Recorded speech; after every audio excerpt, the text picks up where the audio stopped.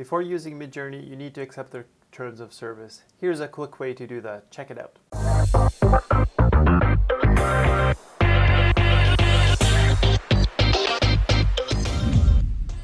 So you want to accept the Midjourney terms of service uh, before you can continue using it.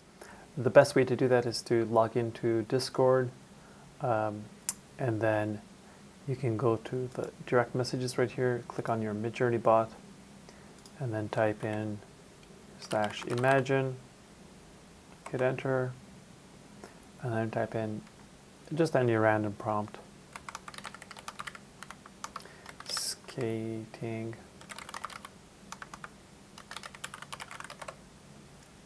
Okay, and then you'll get your uh, uh, terms of service re um, request area here. And you can click accept. And then that's it. You've just accepted your terms of service. And then also your prompt will finish there, so that's pretty cool too. Let's just see what a cool dog skating. Oh, yeah, I thought I was spelling that wrong. On a skateboard. and that.